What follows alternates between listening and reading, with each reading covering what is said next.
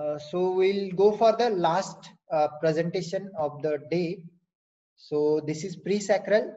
Uh, most of the time it is undiscussed, but in uh, Sabiston and Shackelford everywhere they have given the topic. In fact, these are the tumor are rare but presenting tumor. If some question comes, uh, definitely will be uh, not knowing. So we'll just briefly cover this topic so that most of the tumor related colorectal part will get over by this topic.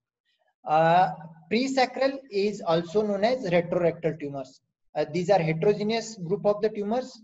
Here it can arise from any germline that is endoderm, ectoderm, mesoderm, any germline it arises.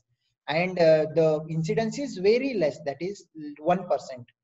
Two-third they are congenital. Usually younger age around 20 year they will present with some symptom or incidentally they will get diagnosed. More common in case of female than the male Malignancy is more common in the men. If presacral tumor in the men is more commonly malignant, but in female it is a more common but usually benign. And most common malignant tumor are sacrococcygeal chordoma. Anatomy, if you see here, if we see here, this is a rectum. This is a part of sacrum. This area, whatever is there, this is a retrorectal or presacral space. This area, if any tumor is there, it is called a presacral or retrorectal. So it is bounded anteriorly by posterior wall of the rectum and mesorectum, posteriorly by anterior aspect of the sacrum, lateral bordered by lateral ligament, uterus and iliac vessel, superior extent by pelvic peritoneal reflection. This pelvic peritoneal reflection will be superior and inferior border by retrosacral fascia. Content of the presacral fascia, loose connective tissue, middle sacral artery, superior hemorrhoidal vessel, branches of sympathetic and parasympathetic nerve. Presacral tumor and its challenges, uh, mainly presacral tumor, if you go to operate, the sacral nerve root will be there. Sacral nerve root outlet will be there. If they get injured, there is a chance of defecatory problem, urological problem, sexual dysfunction because these are a nerve which will supply the autonomic nervous system. So unilateral, if we sacrifice one side of the sacral, even S2 level, there will be not going to be any issue. If bilateral S3 damage or below the S3 damage, it won't come with a problem. Uh, if bilateral S3 root damage, if it will be coming with a fecal incontinence or may need a permanent colostomy also for the patient. Uh, the continence will be not there. Clinical presentation, usually presentation will be vague ill-defined may present with different uh, issue uh, patient will have different issue. Usually younger age group will present. Uh, they may be get discovered incidentally routine pelvic or rectal examination or routine imaging we can diagnose them. They may present with a pelvic low back pain constipation palpable mass. Classically pain aggravated by sitting are uh, reduced by standing or walking ameliorated by standing or walking is a classical presentation. Mostly if it is a nerve related tumor. Persistent perineal discharge it is another one of the presentation because in the presacral space is connecting with the intersphincter space outside. May patient have persistent perineal discharge. That is maybe a one of the uh, kind of persistent perianal fistula is also one of the presentation. evaluation you can see here x-ray wise we can see sign that is the uh, thing sickle shaped sacrum sign anterior meningocele we can see. Mri is a choice of investigation for any presacral. We can see the one side of sacrum is absent one side is absent. That is scimitar sign uh, approach for the biopsy uh, we can approach from the back. Uh, we can approach a parasacral region. We can approach uh, transrectal transvaginal biopsy are contraindicated because transrectal or transvaginal biopsy if we do for the presacral tumor definitely that area we need to resect again. So that will become futile or that will become uh, we have made one tumor which is not there we have made the biopsy from that we need to core out the biopsy track so it will become the compulsion to do uh, resection of the organ that should not be done. Transrectal, transvaginal biopsy are contraindicated for presacral tumor.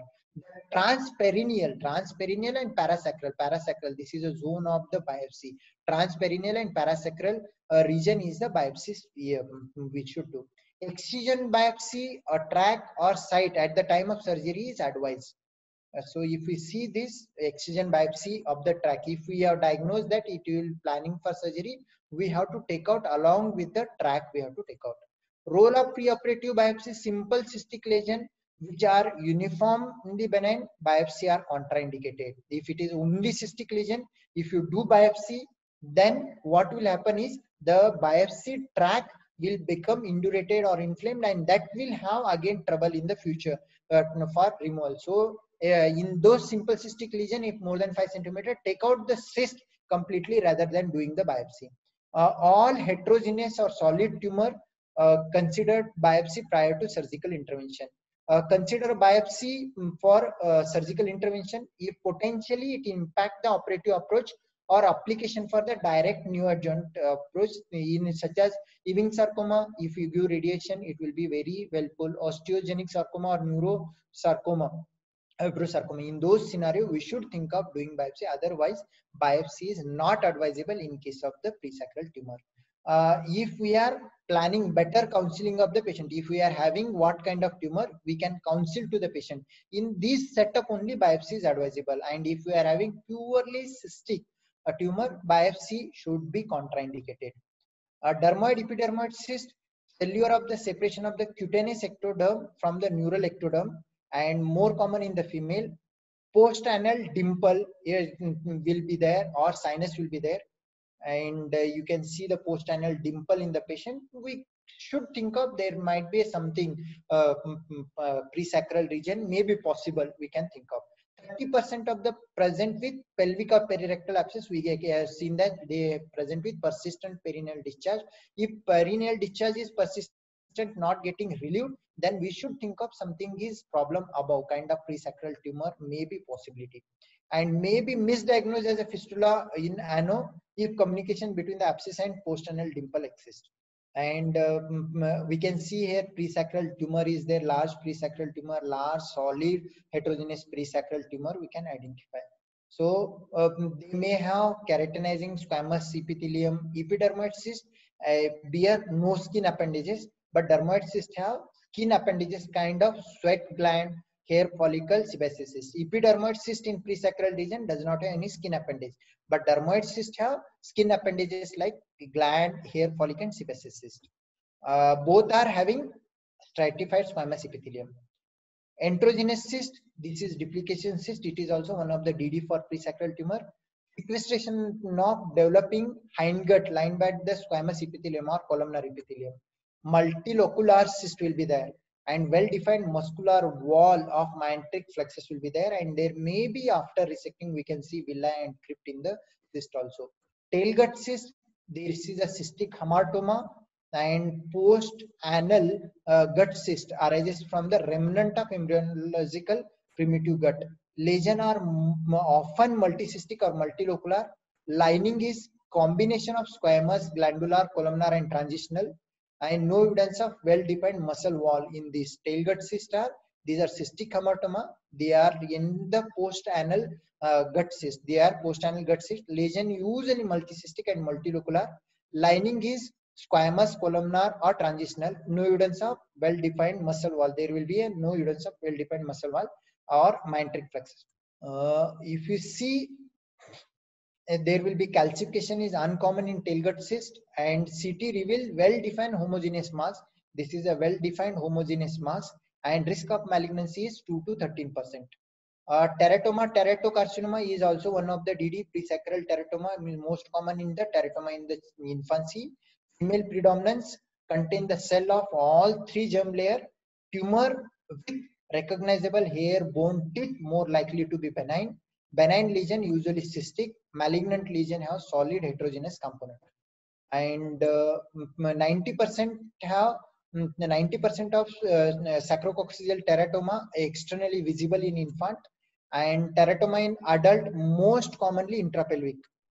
If you see teratoma outside visible and partly intra and more on outside visible more in intra mm, mm, pelvic and partly outside and mainly intra uh, mm, pelvic these are the five types predominantly extra external tumor external tumor and intrapelvic extension predominantly intrapelvic and external extension and it is predominantly presacral. These are the four type of the presacral teratomas. Uh, features of retrorectal cyst. If we are having cystic disease, it may be dermoid, epidermoid, enterogenous tail gut, and teratoma. So how to differentiate is if you see the tissue type, the desmoid, dermoid, and epidermoid have a keratinized squamous epithelium, but the skin appendages, sweat gland, hair follicle, sebaceous gland are present in desmoid, dermoid cyst, no skin appendages in the epidermoid cyst. And mechanism of formation, it is because of the failure of separation of the cutaneous ectoderm from the neural ectoderm, more common in the female.